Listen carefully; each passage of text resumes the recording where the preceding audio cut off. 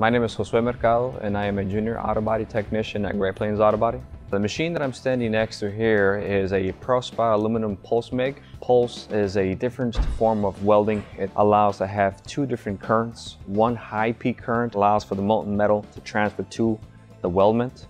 It also has a background low frequency preventing extreme warpage to whatever we're welding on the industry is changing into having aluminum uh, vehicles, aluminum body panels. It's a very innovative move. Uh, you know, you go back from the 1950s, you have, you know, steel where you can stand on top of the hood. Now we moved on to advanced high strength steel, uh, which is very prone for heat and warpage.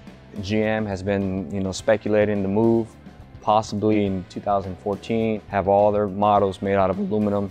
So we would need to, you know, accommodate their needs for that. And who knows, maybe in the future we have cars made out of carbon fiber.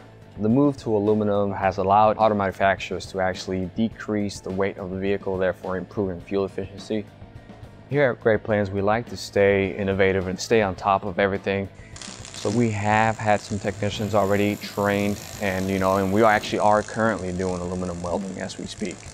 If you have a customer that has an aluminum uh, car that needs extensive repair. For example, you have a car that's heavily damaged that you need to start repairing the inner panels of the vehicle.